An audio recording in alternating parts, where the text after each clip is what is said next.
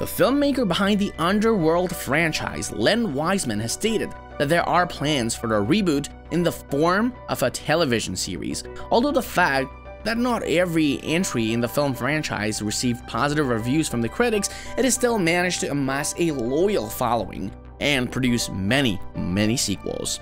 Currently, Wiseman is putting his efforts into adapting Underworld for television, and the future of the next sequel will be determined by how well it is welcomed by fans of the original film. Not much to know there for you, but that's still something, right?